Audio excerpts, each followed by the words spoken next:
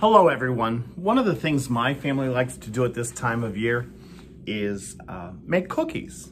Lots of different cookies uh, and we enjoy eating those cookies very much. My family, we like uh, our sweets. Um, so maybe over break, you and your family can make cookies. You can make them from scratch.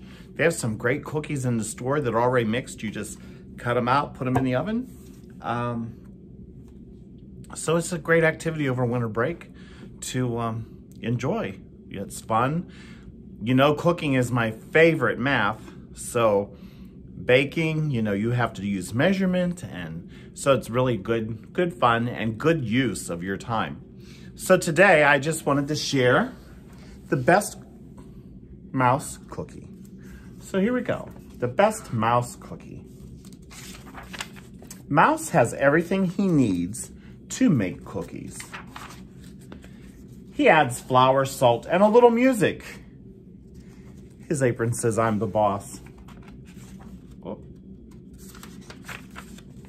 Mouse thinks baking is easy, sometimes. The bigger the drop, the louder the plop. Now Mouse needs a little nap. He makes himself comfortable. A little too comfortable.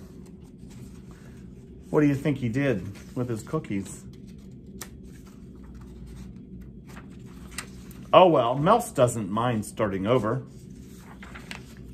There's no such thing as too many cookies. My family will tell you that too. But the best cookie is the one you share with a friend.